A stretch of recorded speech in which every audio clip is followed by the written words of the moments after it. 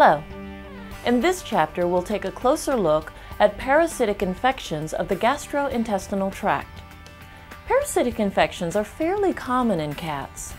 There are several different species of parasites which can inhabit the GI tract and cause symptoms like vomiting and diarrhea. Other species are associated with subclinical infections, meaning cats can harbor the parasite without showing any overt signs of illness.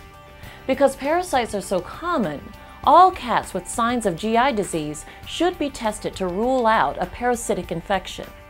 Your veterinarian may also recommend routine testing if you have a new kitten, you've adopted a stray or shelter cat, or your cat goes outdoors.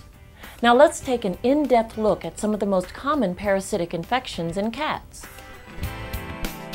Roundworms are a group of intestinal parasites that commonly infect the gastrointestinal tract of cats.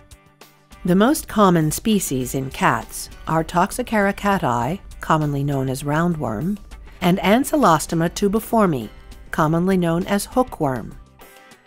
Cats may become infected with Toxocara cati by ingesting the parasite's eggs from the environment, or by ingesting birds or rodents that have eaten these eggs. Once in the intestines, Toxocara can migrate through the blood vessels, spreading to the lungs and other organs. Some larvae remain in the intestine and grow to the adult stage. Clinical signs of Toxocara may include vomiting, diarrhea, a distended and painful abdomen, poor hair coat, failure to thrive, dehydration, fever, and anemia.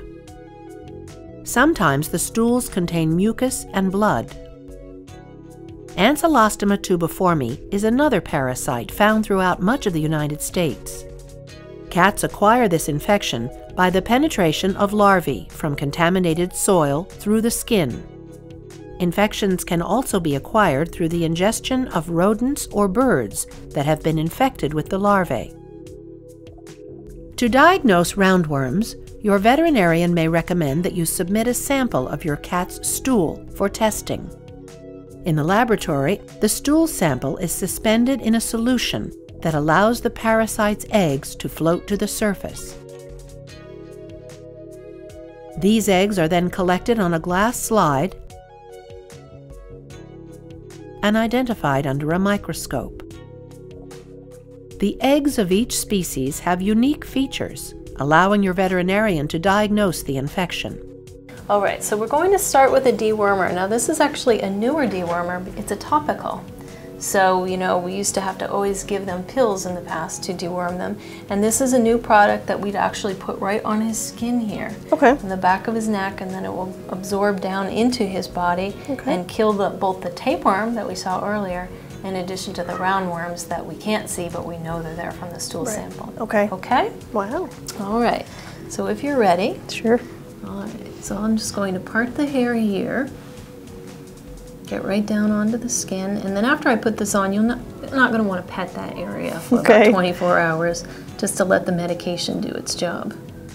Since roundworms are very common, some veterinarians also recommend routine deworming of kittens. If your cat is diagnosed with roundworms, your veterinarian may recommend that you feed a high quality kitten food or a GI diet. These diets are formulated with ingredients that are highly digestible, helping provide the nutrients your cat needs while the intestinal mucosa heals. Probiotic and prebiotic dietary supplements may also be added to the treatment regimen. These supplements are used to help restore a healthy balance of beneficial bacteria in your cat's gastrointestinal tract.